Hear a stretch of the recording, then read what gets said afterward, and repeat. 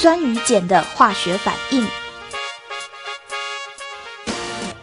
实验目的：由盐酸与氢氧化钠的作用来认识酸碱反应。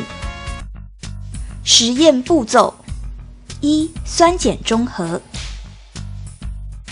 一、滴定管装入酸或碱溶液之前，需先用蒸馏水冲洗，再用要加入的酸液或碱液冲洗后。最后才加入已知浓度的酸液或碱液，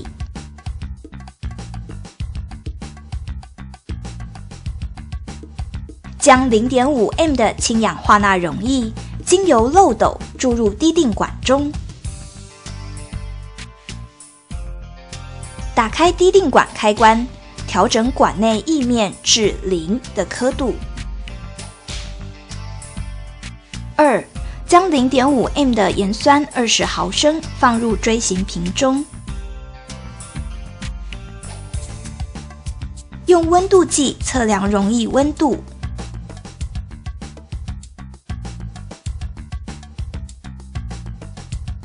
并以滴管加入3到4滴酚酞，观察溶液所呈现的颜色，将结果记录下来。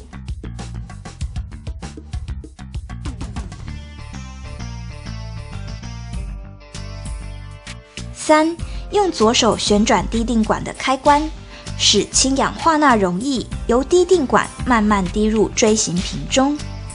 不时用右手摇动锥形瓶，直到溶液恰好变色为止。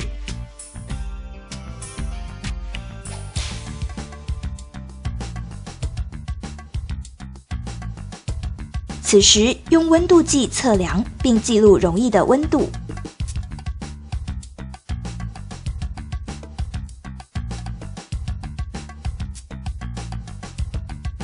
二、盐的生成。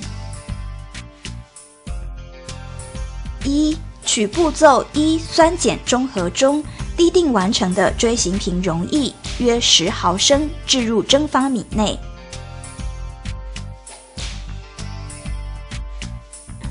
二、将蒸发皿移到陶瓷纤维网上，以酒精灯加热至完全蒸干。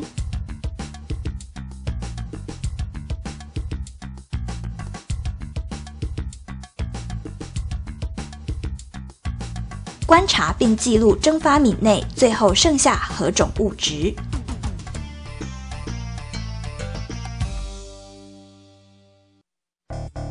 问题与讨论：一、将氢氧化钠溶液由滴定管中慢慢滴入锥形瓶的盐酸中，由酚酞颜色的变化，可知锥形瓶中水溶液的 pH 值如何变化。在盐酸中滴入酚酞时，容易呈现无色。以氢氧化钠溶液慢慢滴入盐酸中，刚开始时颜色依然不变，呈无色。直到滴入一定的量后，水溶液会忽然变成粉红色。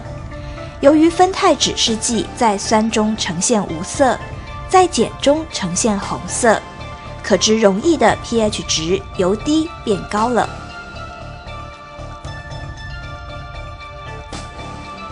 二，当氢氧化钠溶液慢慢滴入盐酸中，由溶液的温度变化，表示酸与碱的作用是一种吸热反应还是放热反应？答：当氢氧化钠溶液慢慢滴入盐酸中，至溶液刚好变色时，水溶液的温度会微微上升，表示酸和碱作用是一种放热反应。